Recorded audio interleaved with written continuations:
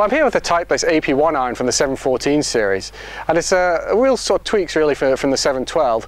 Uh, this iron is really aimed for, I think, your, your high single figures up to your teen handicaps, and uh, they've really made a few sort of quite subtle enhancements. A lot of it's been due with the weight distribution. Uh, they've taken each iron individually uh, and moved around the weights, and you know, added some tungsten, taken some tungsten out, which you can't actually see in here, which I quite like. I don't like seeing necessarily uh, the metal on the sole, but it is in there, and it does do a good job of getting the ball up in the air.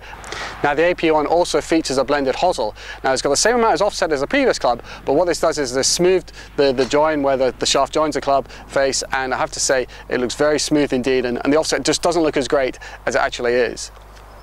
Now what you also notice about the AP1 at address is the slightly thinner top line. What they've done is taken 10% of the weight out of the top of the cavity and moved it to the bottom. And what that does is create a lower centre of gravity and that's there to get the ball up and to increase the forgiveness on the club. In terms of specification of the set, the lofts are one degree stronger from 7 down to pitching wedge, the rest are actually the same. And in addition now, with the pitching wedge being a lot stronger at 44 degrees, there's actually now two gap wedges. Uh, there's a W1 at 48 and a W2 at 52.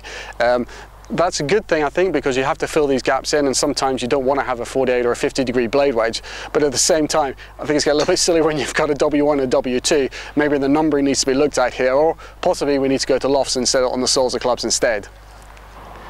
Now the sole of the club also has features a few new changes. There's a, a pre-worn leading edge, which means a little bit has been ground off the front edge of the club. And in addition to that, the soles have got a little bit more camber. And the combination of these two factors allows the club to go through the turf more easily. And certainly I found that to be the case. The other thing is just forgiveness. Uh, they've obviously worked on that, and uh, I say it is very forgiving indeed. The longer irons are just so easy to hit. You know, four, five, six. I can see some better players actually using them as well.